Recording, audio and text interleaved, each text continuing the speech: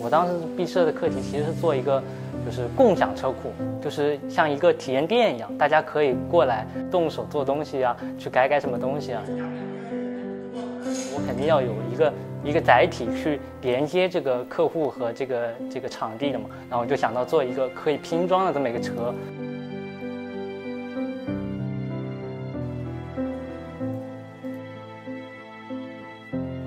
我想做一个电气化时代的这么一个全地形车，可以自己装的，所以我这个车的这么一个代号就叫 Kit。所以一开始设计的时候没什么，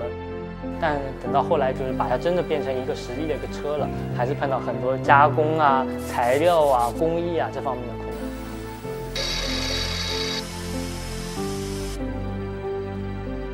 对油泥模型，我觉得是最困难的，因为我先需要就是。油泥一点点敷上去之后得刮。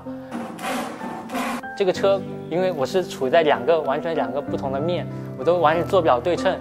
所以当时是想了一个，其实也是土办法，就是用两个那种激光水平仪去做它的对称，旁边都用一点点的卡板，就是比方说一个截面一个截面做出来，然后再拿到另一边去对称的卡，就一点一点卡过来，这样的话才能做到这个车身的左右的对称。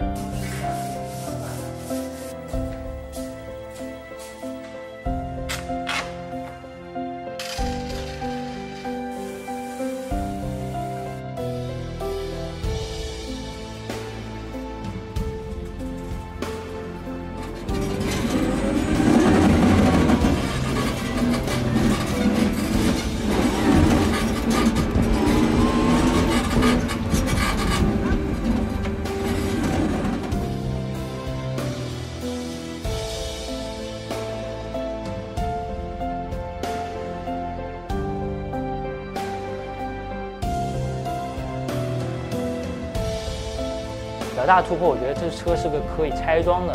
就是模块化的。我这个车又能在沙漠开，又适应在岩石上开，我就可以通过更换这个